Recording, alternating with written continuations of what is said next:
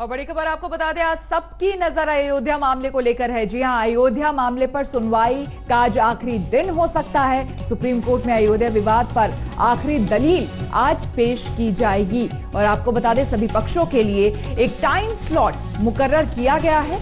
उसमें आपको हम बता दें, हिंदू पक्षकारों के लिए 45-45 मिनट के चार स्लॉट दिए गए हैं। और साथ ही मुस्लिम पक्ष के जो वकील हैं, उन्हें बहस के लिए एक घंटे का वक्त दिया गया है।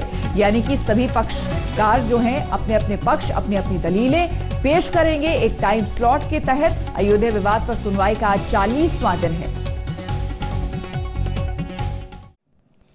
लेटेस्ट खबरों के लिए यू ही देखते रहिए आज तक। और इस वीडियो के पसंद आने पर लाइक शेयर एंड सब्सक्राइब करना ना भूलें।